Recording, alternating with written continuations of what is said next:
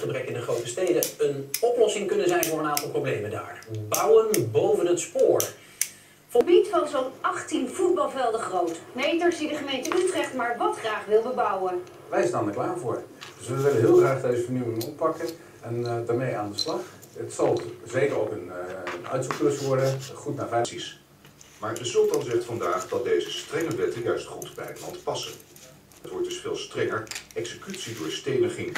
Dezelfde straf komt ook op overspel. Er komen ook strengere straffen voor diefstal.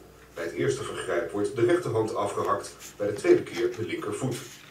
Acteur George Clooney riep vorige week op tot een boycott van de luxe hotels van de sultan in Amerika en Europa.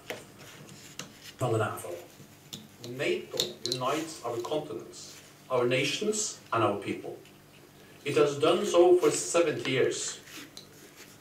And today, we must do everything in our power to make... Gemeenschappelijke vijand. Het is altijd het bindmiddel geweest van het bondgenootschap. En er moet voorkomen dat dit document een stoffig archiefstuk... 90 van Koten en de Bie met hun krasse knarren act op tv inspireerden ze wellicht de oudere jongeren van 26 jaar geleden, die nu de jongere ouderen zijn.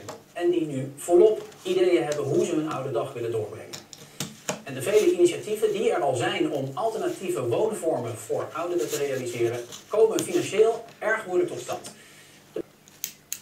Babyboomers die zelfstandig wonen en elkaar helpen. In Zwolle bouwden ze zelf de knarrenhond.